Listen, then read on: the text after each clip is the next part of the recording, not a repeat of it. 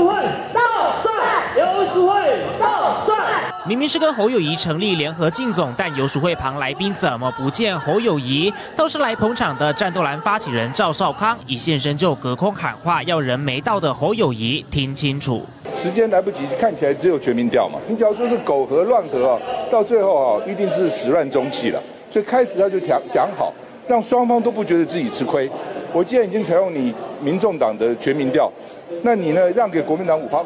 前一天，马前总统开大决施压朱立伦，别再犹豫，快快比民调。但就怕侯友谊民调比输趋于副手，届时召开临时全代会，再度上演换柱事件。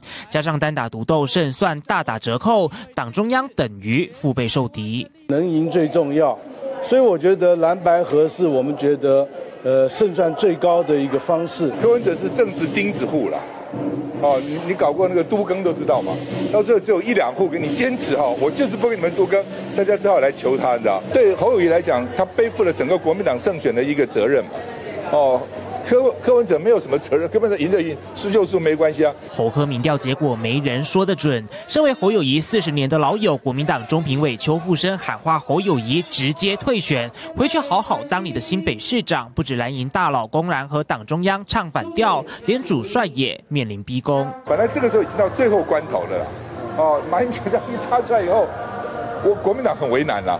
好，就好像你全部站在柯文哲那边吧，就看诸侯还能否顶住党内排山倒海的压力，还是依旧坚持挺着胸膛倒下去。谢新闻何冠宇、徐荣长报道。